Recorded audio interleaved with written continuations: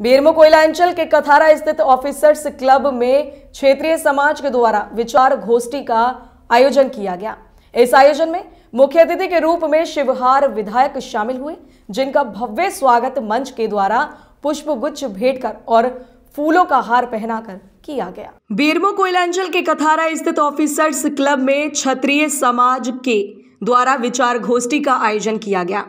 इस आयोजन में मुख्य अतिथि के रूप में शिवहर विधायक चेतन आनंद शामिल हुए, जिनका भव्य स्वागत मंच के द्वारा पुष्प गुच्छ भेंट कर और फूलों का हार पहना कर किया गया। साथ ही शॉल ओढ़ाकर सम्मानित किया गया।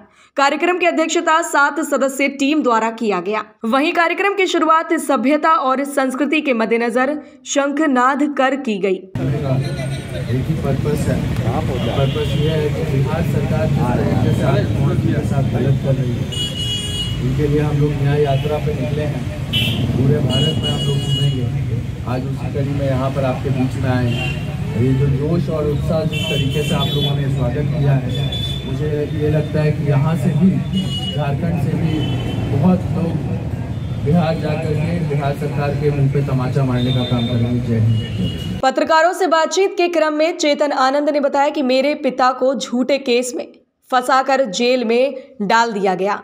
चौदह साल से जिस मामले में मेरे पिता जेल में बंद हैं, उसमें वह थे भी नहीं।